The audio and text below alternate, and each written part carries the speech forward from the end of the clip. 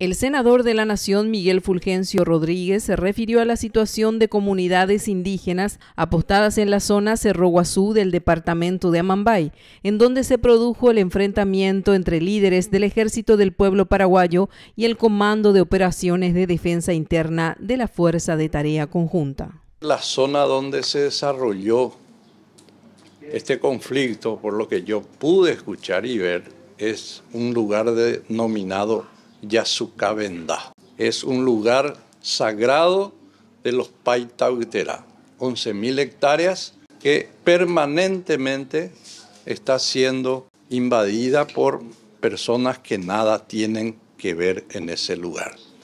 Es importante aclarar que en la zona ya fueron ejecutados muchos Paitauitera mujeres inclusive. Ellos siempre fueron víctimas.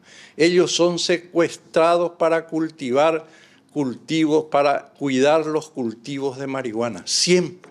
Hasta hoy son secuestradas. Las niñas son secuestradas, sometidas sexualmente y de vuelta a su comunidad después de seis, siete meses. Esto sabe todo el mundo. Se va la FTC en ese lugar y cuenta una historia. Le escuché decir al señor Chamorro que ellos por trabajo e inteligencia tenían conocimiento de que ahí se desplazaba el EPP y que de lejos ellos observaron como esta, esta columna del EPP se acercó a una vivienda de los pueblos originarios, apartó teóricamente a tres indígenas y los ejecutaron. Y ellos comienzan a actuar, la FTC o el CODI, una vez que escuchan estos disparos. Pregunta número uno, ¿por qué no actuaron antes?